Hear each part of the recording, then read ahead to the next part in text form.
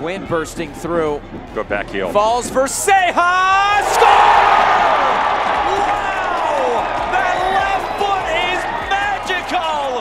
And it restores the advantage for Phoenix Rising. 2-1. on ESPN Plus. Harris sending it in. LaCava, now Fernandez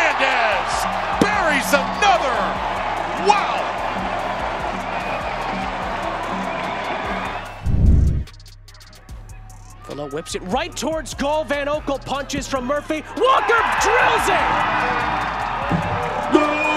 A firecracker from Lamar Walker to give Miami FC the lead.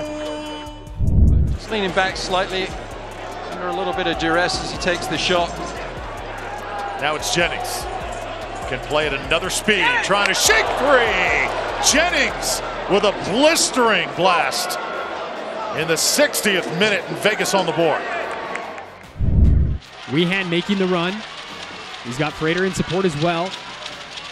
Moreno finds Frater inside the 18. Frater! Oh, Kevon Frater! Welcome back to black and yellow. Kevon Frater has tied it up here in the 22nd minute.